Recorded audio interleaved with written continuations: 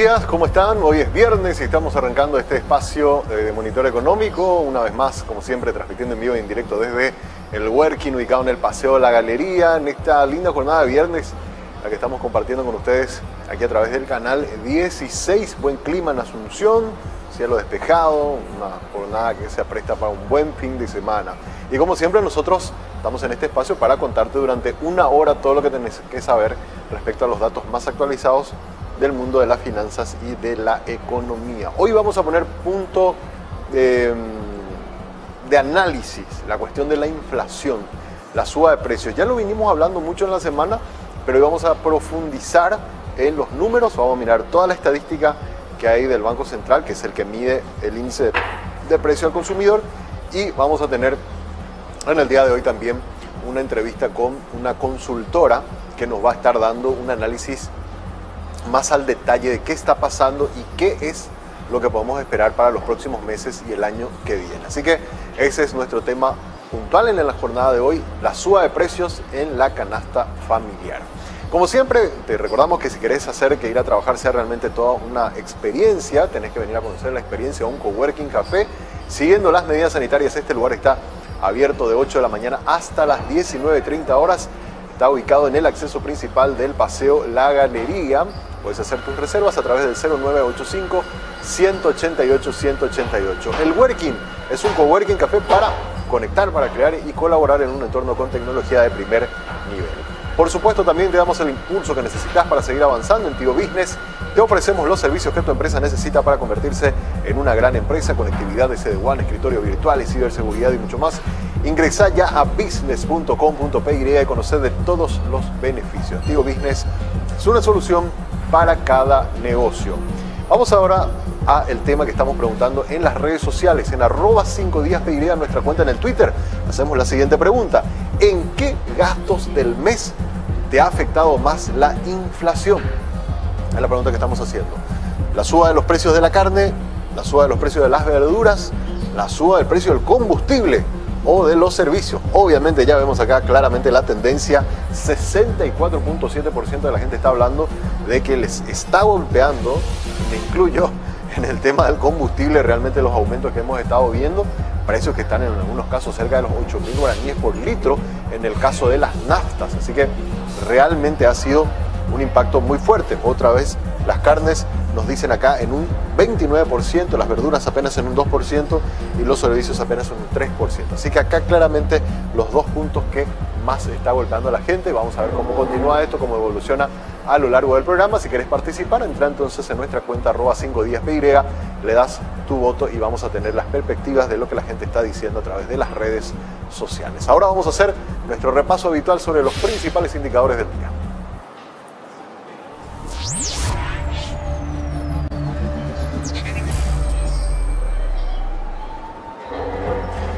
Comenzamos mirando cómo está el tablero de cotización de monedas al cierre ya de esta semana laboral. Tenemos aquí al dólar abriendo a estos precios, 6.820, ganando 20 puntos en la apertura del día de hoy en el mercado local, en las casas de bolsa, 6.820. Entonces en la compra el precio del dólar, 6.880 en la venta. El real 1.200 a la compra, 1.260 en la venta. El peso argentino a 33 a la compra, 43 en la venta y el euro está a 8.100 a la compra, a 8.400 en la venta. De esta manera entonces estamos viendo de qué manera se está comportando el mercado cambiario al cierre ya de esta semana y prácticamente es la última semana. Eh, con esto también estarían cerrando las casas de cambio el, este, el mes, ¿verdad? Porque obviamente el lunes ya vamos a arrancar un nuevo mes, así que de esta manera están cerrando entonces el mes de octubre las casas de cambio. Vamos a ver también cómo está cerrando el mercado internacional, porque obviamente las actividades van hasta el día de hoy, 4.53 dólares por tonelada se está vendiendo los precios futuros de la soja. Eh, bajando dos puntos respecto a la jornada de ayer. El trigo está a 283 precios por tonelada, ganando 4,68 y el maíz 2 221 dólares el precio por tonelada, también abriendo con números en positivo, ganando 2.16. En el caso del petróleo WTI sí hubo una leve reducción en la jornada de ayer, pero igual este, está a 83 dólares el precio por barril. Hay una eh, apreciación positiva, por lo menos en el inicio de esta, de esta jornada, de 0,11 centavos de dólar en los precios futuros del petróleo WTI. Vamos a mirar también el mercado bursátil, a ver cómo está el mercado de valores de Asunción. También es la última revisión que estamos haciendo del mes al mes de septiembre. Ya vamos a tener a partir de la próxima semana ya números consolidados del mes de octubre. Tenemos montos custodiados en el mes de septiembre, 759 millones, 59.540 eh, millones de guaraníes en el sistema electrónico. Eh, se custodia física en el mes de septiembre 6.519 millones, lo que nos da 766 mil millones, es lo que tenemos de custodia de divisas en guaraníes y en dólares. Tenemos acá 18, 18 millones, 18 millones 300 mil dólares en, el sistema electrónico y en el sistema físico 757 mil millones, lo que nos da 19 millones de dólares en el sistema físico. Acá están las custodias entonces de divisa, en lo que se ha eh, realizado en el mes de septiembre. Si miramos los montos custodiados al mes de septiembre en el acumulado, tenemos acá en el total en guaraníes tenemos 8.606 millones de guaraníes de custodia, tanto entre el sistema físico como el electrónico de negociación. Y si miramos en dólares, tenemos 527 millones de dólares en el sistema electrónico, de manera física 77 millones de dólares y nos da un total de 605 millones de dólares en custodia de la Bolsa de Valores y Productos de Asunción. Ahí tenemos entonces un pantallazo de cómo está el mercado de custodia de divisas eh, en el mercado de, de, valores de nuestro país. Ahora hacemos rápidamente ya nuestro análisis del día, nos hemos pegado sin hacer pausa porque estamos cortos de tiempo y queremos hablar con la gente de Mentu, que va a ser nuestra invitada especial el día de hoy. Así que vamos al análisis del día, nos comenzamos a introducir en el tema de la inflación.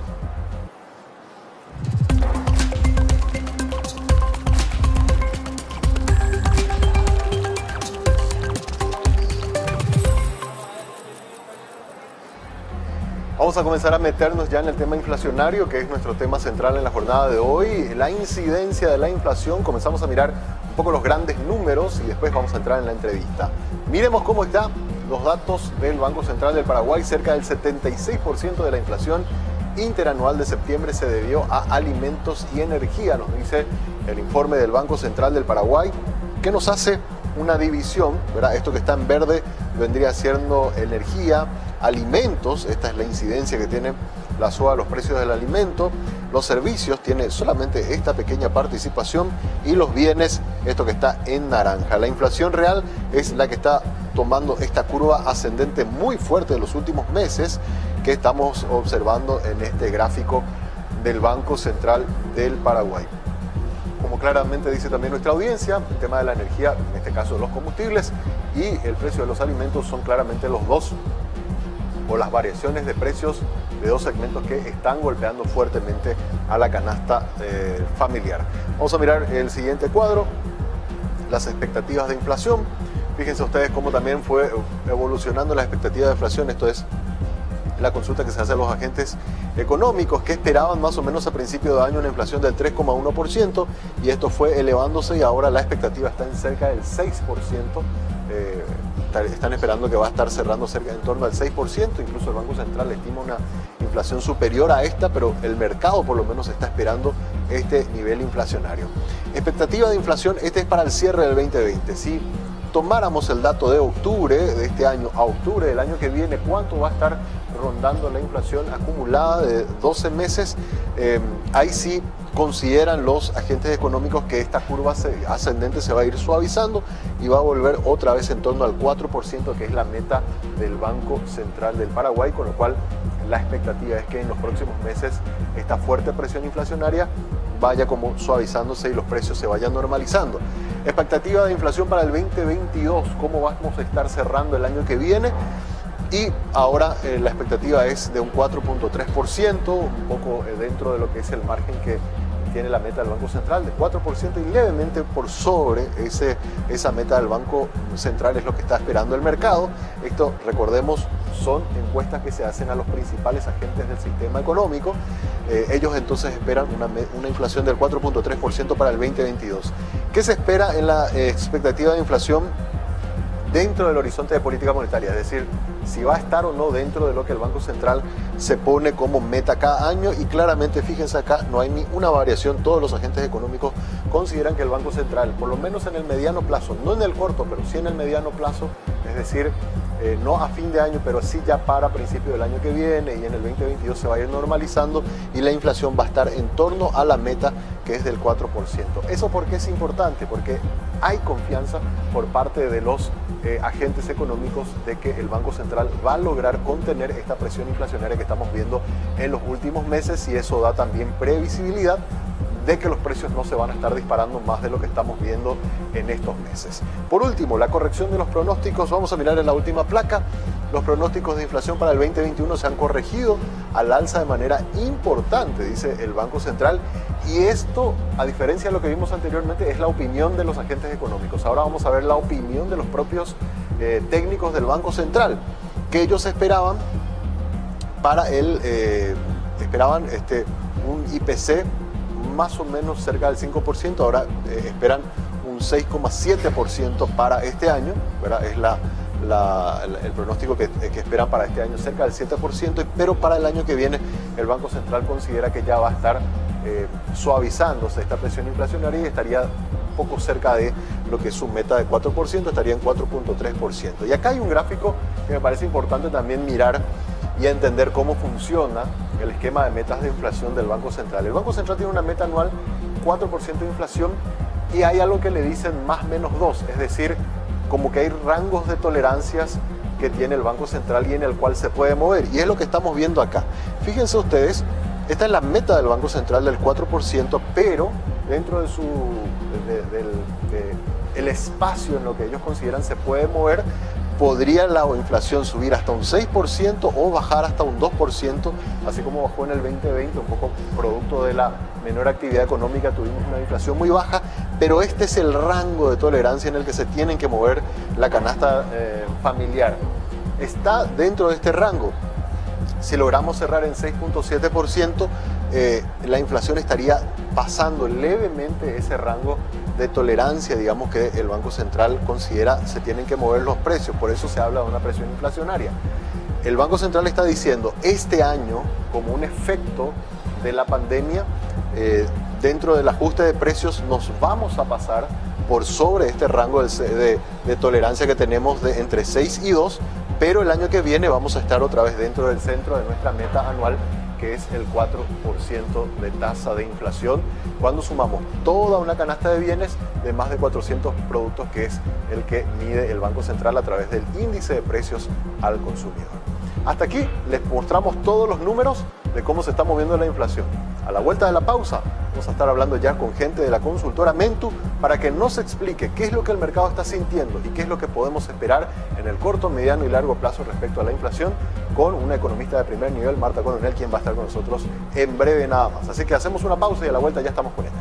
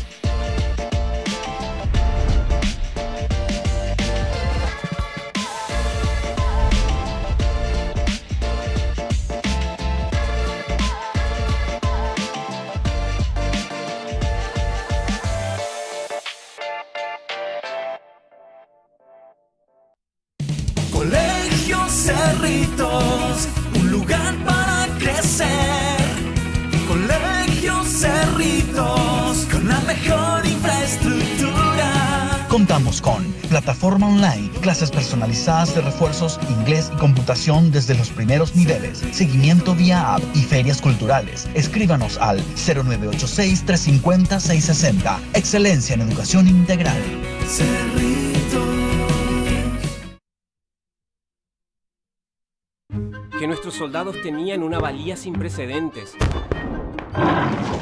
que el espíritu de lucha viene insertado en nuestra piel no son mitos, es tangible, mucho más que un sentimiento en el pecho. Lo vemos en los que siguen creciendo y creyendo en el país. Hace 40 años también lo sentimos, porque estamos hechos de talento paraguayo, porque nuestra gente es grande.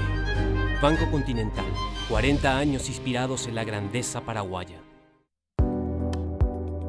Enamórate de lo legal cuando elegís una marca legal, no solo optás por lo mejor, estás apoyando la economía formal, la que genera empleo, aporta el fisco y cumple con la legislación laboral. Estás premiando el esfuerzo del que crea innovando y promoviendo una economía de avanzada, la que nos hace crecer siendo competitivos. Si elegís una marca legal, le estás dando un portazo a la mentira y a la mediocridad. Cada vez que elegís una marca, le das un voto de confianza a la empresa y al trabajo paraguayo. Enamorate definitivamente de un país seguro y confiable.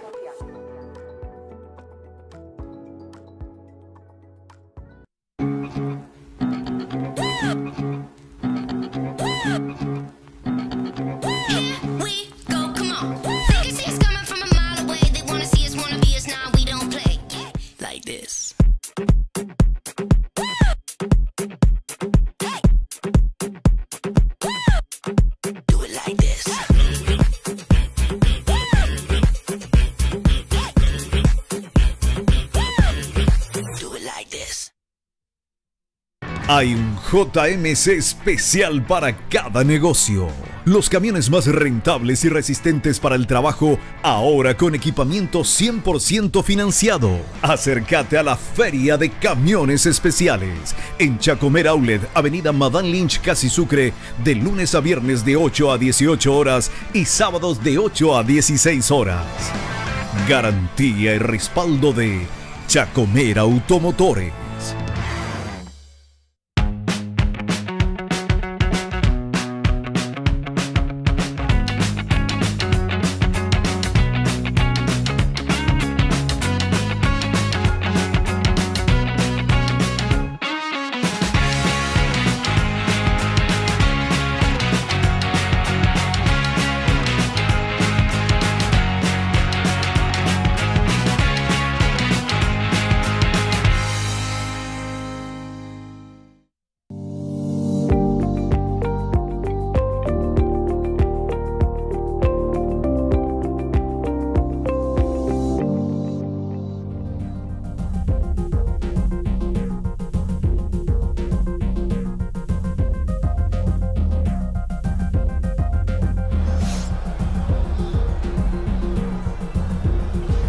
Seguimos en Monitor Económico por el canal 5 Días y es momento de ir a la entrevista de eh, este, esta jornada. Y hoy, como ya les había anticipado al inicio del programa, queremos hablar sobre el tema de la inflación. Hemos estado mirando los datos del Banco Central del Paraguay que nos indica de que estamos teniendo niveles de inflación a los que no estábamos acostumbrados. En el último informe, por lo menos de política monetaria, también se daban ya algunos pronósticos que están por sobre esa meta anual del 4% que tiene el Banco Central. Así que queremos tener eh, detalles de por qué está ocurriendo esto y para ello está con nosotros Marta Coronel, ella es de la consultora Mento, a quien saludamos. ¿Cómo te va Marta? Muy buenos días. Ya Samuel, un gusto saludar, saludar a quienes nos están viendo. Marta, queríamos consultarte un poco tu opinión respecto a esto que estamos observando, sobre todo en los últimos meses. Vemos que se han disparado mucho los precios, sobre todo de alimentos y combustibles, y eso nos está eh, haciendo registrar niveles inflacionarios a lo que no estábamos acostumbrados. Y la pregunta que, te hacemos es, bueno, ¿esta situación va a seguir así hasta fin de mes? ¿Qué es lo que ustedes desde la consultora están observando y se puede esperar por lo menos en el corto plazo?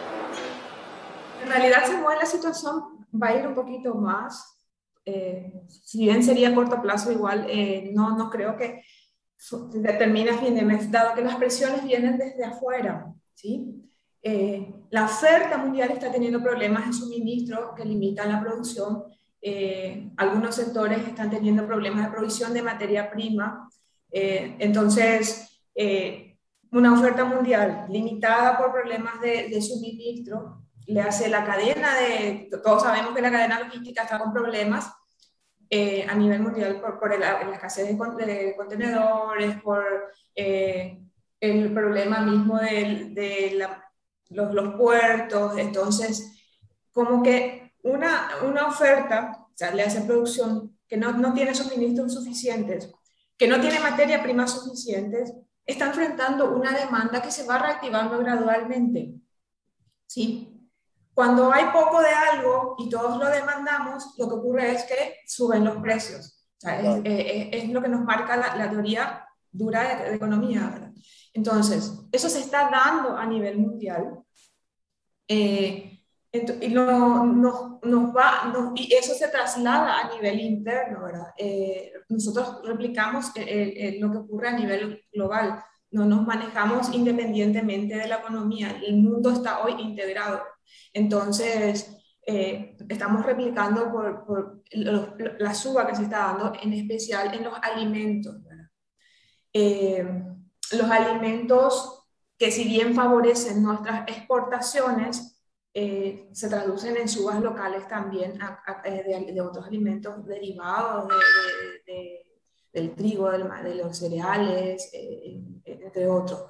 Entonces, eso hace que los precios suban Más otros factores más internos, o sea, que repercuten acá internamente. Por ejemplo, Estados Unidos estabilizándose señala un, fortalecimiento de su economía, por tanto, de su moneda si su moneda se, el dólar, si su moneda se, fortalece, pues lo que ocurre es que sube el precio del dólar.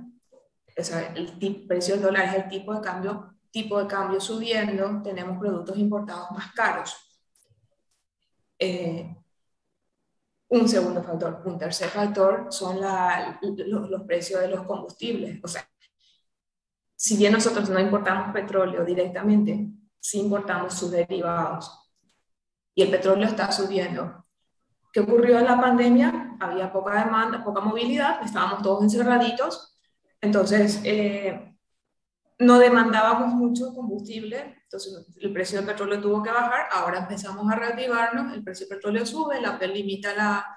Empezamos a reactivarnos, la OPEP limita la oferta, el precio del petróleo sube, sube el precio petróleo, sube el precio de sus derivados. Nosotros consumimos derivados para movernos, para transportarnos, lo cual se traslada a los precios. Una empresa no va a absorber un mayor costo de transporte así alegremente, la empresa tiene que cubrir sus costos. La, la opción que tiene es trasladar a los precios. Un pantallazo así, general. Respecto al tema de los alimentos, ¿verdad? Si bien es cierto, nosotros estamos siendo muy beneficiados con, este, con esta suba en los precios internacionales de las materias primas por el lado de la soja, del maíz, del trigo, de la carne, que están registrando niveles de ingreso de divisas, en algunos casos incluso récord, como el caso de la carne. La pregunta es, eh, ¿nuestros productores están eh, de alguna manera priorizando mucho el mercado internacional para recuperarse un poco del efecto de pandemia? Y eso hace que tengamos una menor oferta para el mercado local y por eso están aumentando los precios de bienes, sobre todo en los cuales nosotros mismos somos productores. Te consulto, Marta. Eh, en realidad nosotros no tenemos capacidad de absorber toda la oferta que tenemos en, de esos bienes en particular de soja. Son 10,5 millones, 10,5 millones de toneladas, son 7 millones de habitantes, más de una tonelada por habitante. Entonces, eh, probablemente la carne sí, ¿verdad? La carne está, incide, mucho en en, en, la, en la demanda, perdón, en los precios internos porque es un bien que pesa mucho en, en nuestra canasta familiar. La, porque por cultura comemos mucha carne, por cultura destinamos gran parte de nuestros ingresos a, a ese, a ese producto y si se exporta, si, eh, mucho los cortes de primera, eh, eso se encarece. Ahora bien, no exportamos todos los, los cortes porque el carne con hueso, por ejemplo, no sale. Entonces, eh, la suba de los cortes de primera es parcialmente compensada con los cortes eh, asado o pechero que quedan aquí. Eh, sin embargo, no es una compensación total y eso se está viendo en los precios. Eh, indiscutiblemente, un productor eh, como todo empresario, lo que busca es ganar. Entonces va a vender al mercado que mejor le pague. Es, una, una, una, una, una forma, o sea, las empresas nacen con esa intención de generar la mayor ganancia posible. ¿Cómo, qué, qué, punto intermedio encontramos entre este, el, mercado externo y el de aquí? Y ese, es un, es un bonito desafío que, que habría que, ver. Pero de hecho, los portes de segunda, en teoría, tendrían que eh, no subir tanto los precios. Claro, totalmente. Eh, pero tampoco nos podemos ir al extremo de lo que está haciendo Argentina, de que bloquea, por ejemplo, la exportación para priorizar el mercado local. Ese ya sería un, un caso ya muy extremo, ¿verdad? Samuel, con, con la producción. Si el productor o el empresario no va a cubrir sus costos, porque cubrir costos con el mercado interno solamente no, probablemente no sea rentable, lo que va a hacer, fue lo que le pasó a la Argentina, va a sacrificar vientres. Si sacrifica vientres, hay menos ato y menos producción para el siguiente periodo. Si hay menos producción, igual los precios internos van a terminar subiendo. Entonces, hacer sintonía fina en, en, esos aspectos es que tendría, es lo que cuesta un poco, ¿no? medidas drásticas no son convenientes, porque igual, de igual manera nosotros necesitamos de esa producción, necesitamos exportar, necesitamos vender excedentes para cubrir aquello que nosotros no podemos producir. Totalmente.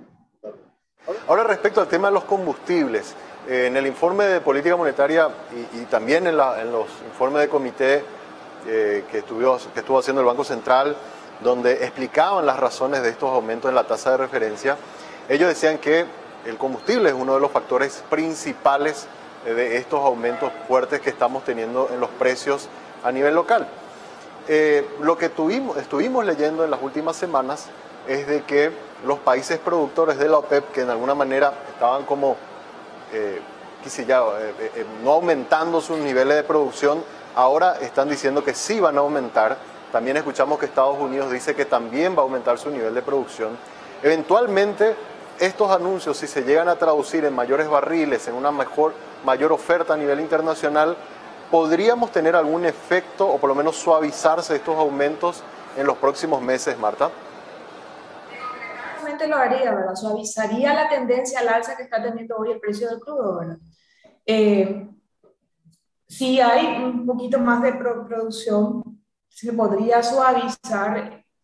O sea, si la OPEP libera la cantidad, alza un poco, porque están creo que en 400 millones de barriles por día, si alza un poco su producción diaria, con, con que ellos lo hagan, ya estaríamos suavizando. El problema ahí va a ser hay suficientes contenedores o hay suficiente, o la cadena de suministro está en condiciones como para transportarlo. Entonces, eh, todavía tropezaríamos en parte con ese problema. Ahora, indiscutiblemente, mayor producción suavizaría la, la suba de precio de combustible. Eh, si cae el precio del petróleo, caerían, bajarían también los precios de, la nafta, del gasoil. Entonces, eh, eso significaría que aquí también llegarían a menores precios y los empresarios tendrían, tendrían menores costos para el traslado de sus mercaderías, su materia prima, su mercadería de finales y nosotros tendríamos mejores, menores costos para llegar a nuestro trabajo, entonces se suavizaría un poco el efecto de los combustibles en los precios, pero depende de esa mayor producción.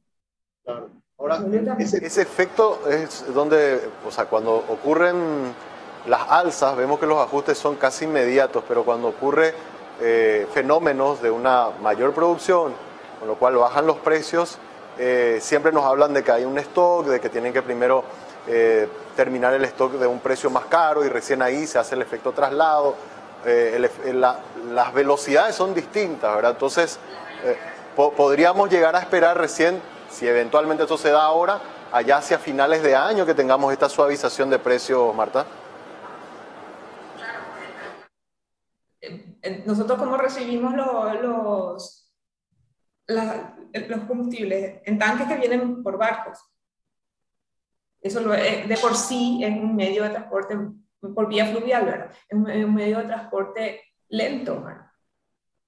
Es de esperar cuando, cuando los importadores van a hacer las compras de fin de año, lo piden ya en septiembre, agosto, septiembre para tenerlo en octubre, noviembre, entre noviembre, diciembre. Lo mismo pasa con el combustible. se prevé con dos meses de anticipación las compras. Entonces, no, no se traslada tan fácilmente eh, la, suba, la, baja de los precios. Eso es lo que ocurre. No se debe esperar que, que, no, no, se diera todavía, si, si se concreta el aumento de la producción en la medida que, fuera, que se necesita, porque tampoco un aumento así pequeñito nos va a solucionar el problema.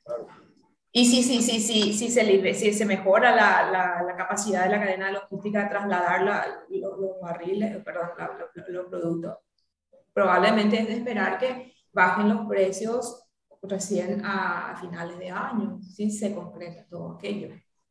Ahora, hay una propuesta de algunos sectores que han eh, hablado de la posibilidad de eh, reducir, por ejemplo, la tasa del selectivo al consumo como un efecto un poco más inmediato eh, para reducir los precios.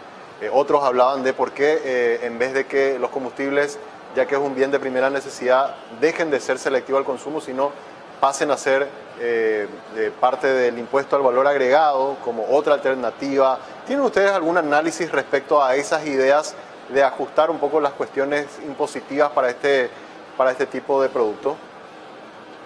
Detalladamente, un análisis fino, fino eh, todavía, pero eh, pensemos lo siguiente, si reducimos el impuesto selectivo al consumo de un bien que se, eh, forma parte de, importante de, los, de las recaudaciones de aduanas, tendremos menos dinero en el sector público para canalizar hacia, hacia otros, otros usos o a otras áreas prioritarias. Entonces, de vuelta, sintonía fina es necesaria ahí.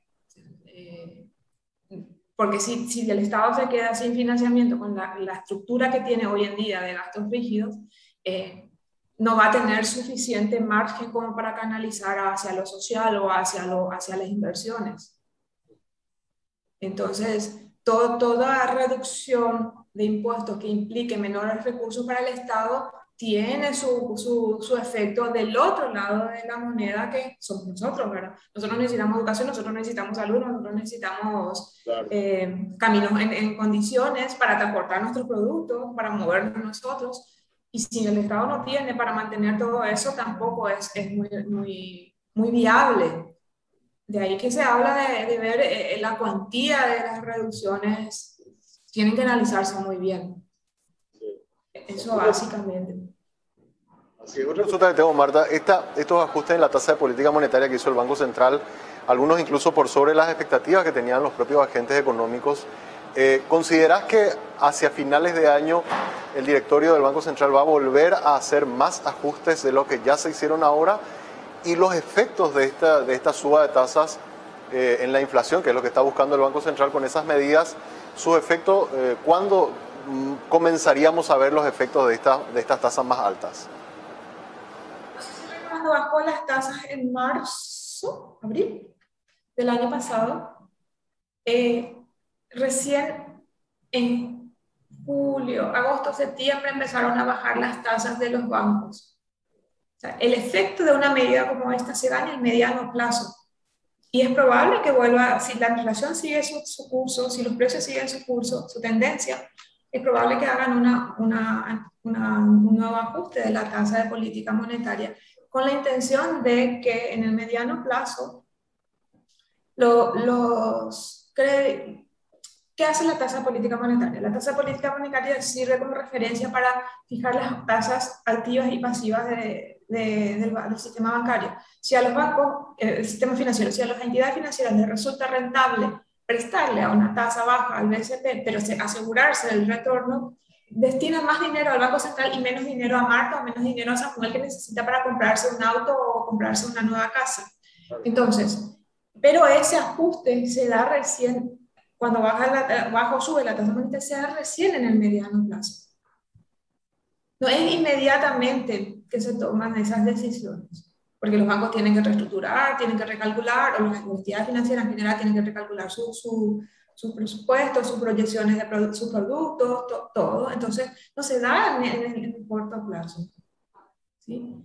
Eh, es de esperar que tenga efectos eh, tres meses, a veces inclusive seis, se demoran este tipo de medidas, ¿entender? Por, por, eso es que se, cuando existe, existe un shock, se apelan a medidas drásticas, ¿verdad? Para que den un resultado lo más rápido posible.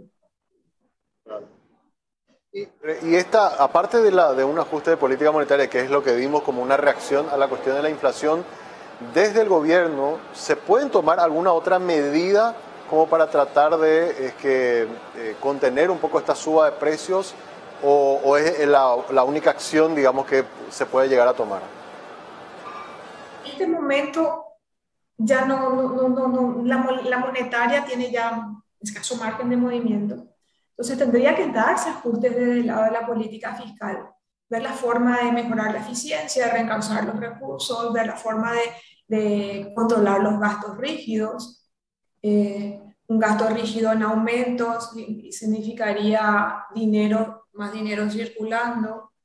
Más dinero circulando implica una mayor presión a los precios. ¿Por qué? Porque no estamos produciendo, no estamos todavía recuperando la totalidad de, de nuestro dinamismo económico, de nuestra producción. Entonces, eh, eso se traduce nuevamente en, en una mayor inflación. Entonces, eh, lo que puede hacer el, el, sector público es justamente controlar los gastos rígidos, orientar los recursos hacia, aquellas hacia aquellos destinos o aquellas áreas que generen o propicien la, la, la, producción, no es ponerse a producir, claro que no es ponerse a producir el Estado, sino generar las condiciones para que el sector privado produzca, eh, le hace un camino o una ruta que efectivamente conecte territorios, que conecte mercados, eh, no solamente asfaltar las calles de los barrios, eh, le hace una infraestructura educativa, una infraestructura de conexión que permita que los niños tengan, eh, los que todavía siguen en, en, casa, tengan acceso a Internet adecuado como para desarrollar sus clases. O sea, finalmente, si bien es, la, la educación tiene un retorno en el mediano plazo, a lo menos vamos a tener capital, vamos a asegurar eh, en parte de nuestro capital humano. Eh, el Estado debería, o los hospitales que necesitamos para garantizar eh, la inversión en salud que necesitamos para garantizar que el gobierno nos va a volver a golpear duramente. De hecho, esa incertidumbre persiste a nivel internacional, ¿verdad? si bien hemos avanzado en el proceso de, de inmunización, todavía tenemos cuidado con las variantes que es una nueva variante de enfermedad. Entonces, el sistema de salud debe estar en condiciones para soportar una nueva, una nueva eh, vamos a decirle hola, o la entrada de variantes que hagan que se tenga que reaccionar rápido para contenerlo, porque no tenemos opción que tenía, la opción que teníamos el año pasado decía, ah, bueno, toda nuestra casa, no podemos hacerlo ahora, porque ahora necesitamos producir, ahora necesitamos eh, crecer para que la gente pueda eh, vivir, eh, recuperar su, su, nivel de vida. Una última consulta, porque esto nos llamó un poco la atención en el, en el informe del Comité de Política Monetaria, cuando se alzaron las tasas la semana pasada. En la última parte citaba el informe de que eh, se tenga cuidado con el presupuesto general de gastos de la nación que está siendo estudiado en este momento en el Congreso, porque si se daban los aumentos que se están hablando para el sector docente o para el sector también del de, personal de blanco, eh, decía el informe, esta mayor eh, presión eh, de gastos rígidos, que fue lo que mencionaste, Marta, podría tener un efecto inflacionario. ¿De, de qué manera un aumento salarial para estos segmentos podría después impactar en que tengamos una inflación, una inflación mucho más fuerte de la que ya estamos experimentando, Marta? tu salario a 30 millones de guaraníes espero que sea menor. ¿Qué vas a hacer? Gastar más. Gastar más.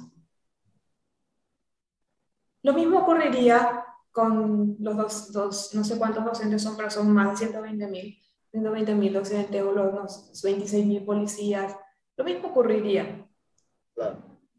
Y eh, el Estado, por un lado, eh, vos gastaría más para una producción para una oferta que se está recuperando recién, que no está llegando todavía a todo su, a todo su potencial. Entonces, por, por un auto vas a ofrecer el doble. bueno, un docente por, una, por un libro o por un cuaderno va a ofrecer más plata, porque tiene más plata. Pero no hay eh, dos cuadernos, hay uno. Nos estamos recuperando para llegar a dos, o sea que la producción todavía no está eh, en su potencial. Y vos lanzas plata al, mercado al pagarle más a las personas. No digo que no fuera justo, digo que eh, ese sería el efecto. Entonces, eso por un lado. Por el otro, todos sabemos que el Estado está con muy escaso margen. De algún lado tiene que financiarse. ¿sí? De alguna manera tiene que financiar ese aumento. Tiene dos vías. O sea, en realidad tiene tres. Descartemos una que es la emisión. Tiene la, la vía de aumentar impuestos, ya sea vía formalización. Tasas no son muy, no son muy, muy queridas, el aumento de tasa no es muy, muy bien visto. Normalmente se trata de, de, aumentar a través de ampliar la base, la base imponible, ¿verdad? En el sentido de ampliar, eh, llegar a más empresas, presionar más a las que están formales, eh, etc. O lo otra, la otra opción que tiene es endeudarnos más. Endeudarnos más finalmente se traduce en más gastos rígidos porque más, más tenemos que pagar del servicio de la deuda le hace el capital y los intereses. Más gasto rígido implica lo que te decía, menos recursos que deba, que, menos recursos excedentes como para orientarlo hacia aquello que necesitamos realmente. Reitero, hoy necesitamos producir, generar condiciones para la producción.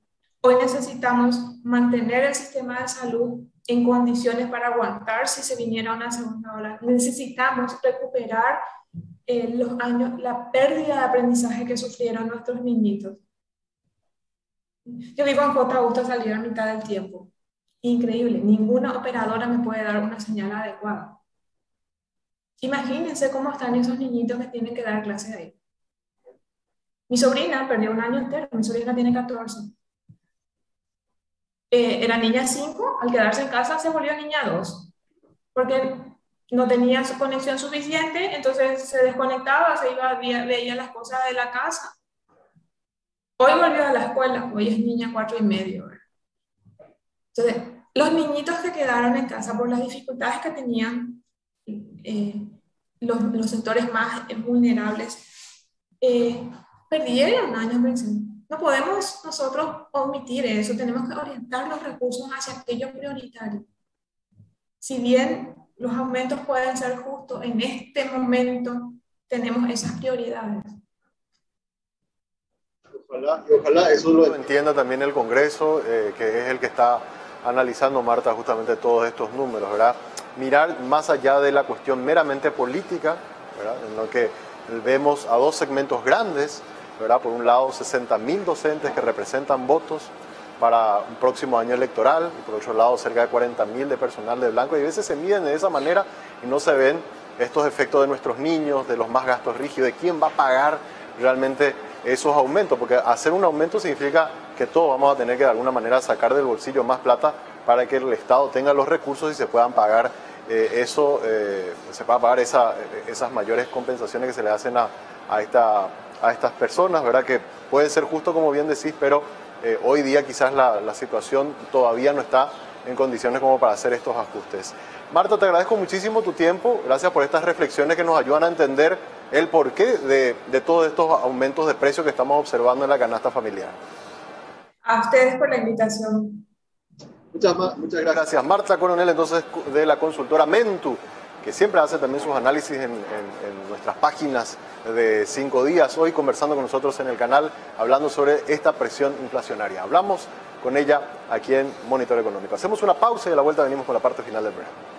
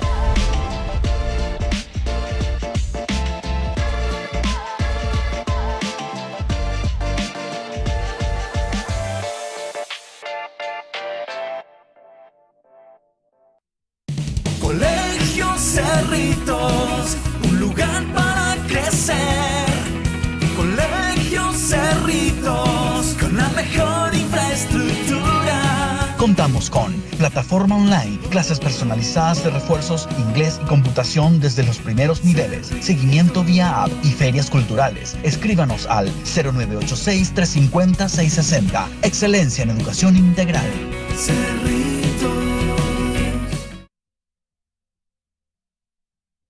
Que nuestros soldados tenían una valía sin precedentes. Que el espíritu de lucha viene insertado en nuestra piel. No son mitos, es tangible. Mucho más que un sentimiento en el pecho. Lo vemos en los que siguen creciendo y creyendo en el país. Hace 40 años también lo sentimos, porque estamos hechos de talento paraguayo, porque nuestra gente es grande. Banco Continental, 40 años inspirados en la grandeza paraguaya.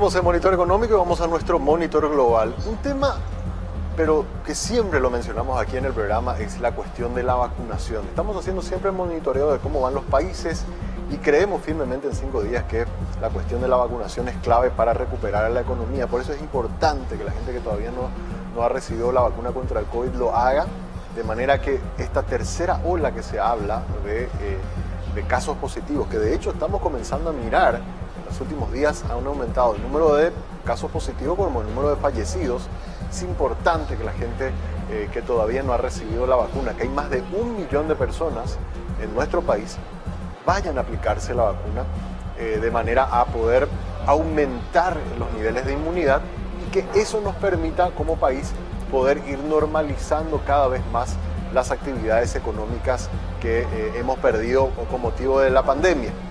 Por eso en este programa, en este espacio de análisis económico, miramos siempre cómo estamos en eh, el índice de vacunación en Paraguay y en los diferentes países de la región para tener una idea de cómo estamos de a poco saliendo de los efectos de la pandemia. Miremos los números más actualizados que tenemos. Los avances en los progresos de vacunación son esenciales, dice el Banco Central del Paraguay, para mitigar los riesgos derivados de los rebrotes del COVID. Porcentaje de personas vacunadas contra el COVID, al menos una dosis. ¿Cómo estamos entonces? Diferencias entre eh, el 20 de octubre de este año y el 1 de julio de este año, o sea, cómo hemos avanzado en los últimos meses. Bueno, miramos acá, obviamente los países eh, de primer mundo, caso Japón, por ejemplo, están ya muy avanzados con el tema de la inmunización, Brasil también está muy por sobre Paraguay, lo mismo que Argentina. Paraguay está con dos dosis cerca del 30% de su población objetivo. Hay que recordar, población objetivo no son los 7 millones de paraguayos. Estamos hablando de 4 millones 200 mil personas, que es lo que nos dice el Ministerio de Salud, tienen que tener la vacuna o tienen que llegar a aplicarse la vacuna para que tengamos esa inmunidad de rebaño que nos permita, de alguna manera, salir de esta situación de pandemia. Entonces Paraguay está acá, está levemente por sobre, esta es una buena noticia, por sobre el promedio mundial, pero todavía estamos por debajo por lo menos de nuestros dos vecinos, Argentina y eh, Brasil. Acá está Paraguay, como les decía también, con un comparativo, como ha aumentado en un 40% el índice de vacunación, pero si ustedes se fijan, comparativamente con los demás países, en el caso Uruguay, miren un poco acá, cerca del 80% de su población ya tiene por lo menos una dosis. Después vemos acá Japón, 70%, Francia, ya tiene también más del 70%, Brasil, por lo menos una dosis con el 70%, Reino Unido también 70%, la propia Argentina, que comenzó rezagada, pero ahora ya tiene cerca de un 70% también de su población con al menos una dosis. Alemania está también por el 70 por cerca del 70%. Estados Unidos casi llegando al 70%. Y a nivel mundial, a nivel mundial la mayoría de las naciones ya superaron el 40%, por, el 50%, el 50 como por lo menos una dosis. Paraguay con una dosis recién está en torno al 40% y con dos dosis apenas el 11% de la población, con lo cual la brecha para estar cerca de los países que ya tienen mayor nivel de inmunidad todavía es muy lejana y hay que seguir insistiendo con el tema de la vacunación. De lo contrario, el proceso para salir de los efectos de la pandemia va a ser muy lento y si eventualmente se viene una tercera ola, como ya está advirtiendo el Ministerio de Salud, los efectos sobre la economía también van a ser muy fuertes. Por eso es que siempre instamos a la gente a que vaya a vacunarse. Antes de cerrar el programa, vamos a mirar el resultado final de nuestro sondeo. Hoy estuvimos hablando bastante sobre el tema inflación. La pregunta que hicimos, ¿en qué gastos del mes te ha afectado la inflación?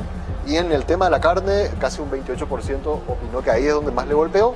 Las verduras, un 2.8%, aumento de precio de las verduras, 65% obviamente dice el tema de los combustibles que han subido cuatro veces en lo que va del año, que eso es algo, algo que en un país como el nuestro, que es bastante conservador, con la inflación bastante controlada, es algo que llama la atención. Y acá 65% de la gente dice que en los gastos de combustible es donde realmente ha sentido un fuerte impacto.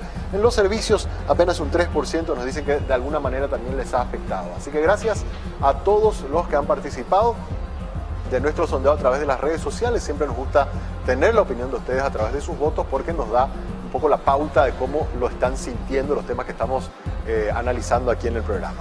Antes de despedirnos, te recuerdo que puedes hacer que ir a trabajar sea realmente toda una experiencia. La experiencia de un coworking café, siguiendo las medidas sanitarias. Este espacio está abierto de lunes a viernes de 8 de la mañana hasta las 19.30 horas.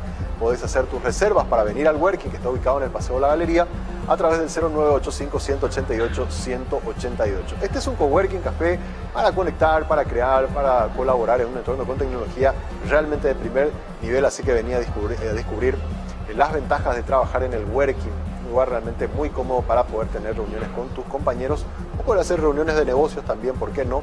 El espacio es ideal para eso. También te recordamos que si necesitas el impulso para seguir avanzando, Tigo Business tiene los servicios que necesitas para que tu empresa pase a un siguiente nivel. Por eso Tigo te ofrece servicios como, por ejemplo, conectividad SD-WAN, escritorios virtuales, ciberseguridad y mucho más. Ingresa ya a business.tigo.com.py y vas a conocer ahí de todos los beneficios. Tigo Business es una solución para cada negocio. Y con ellos nos vamos despidiendo, deseando que tengan un buen fin de semana. Vamos a reencontrarnos nuevamente en este espacio el próximo lunes para hacer de un nuevo monitor económico aquí en el canal 5 días. Será hasta entonces.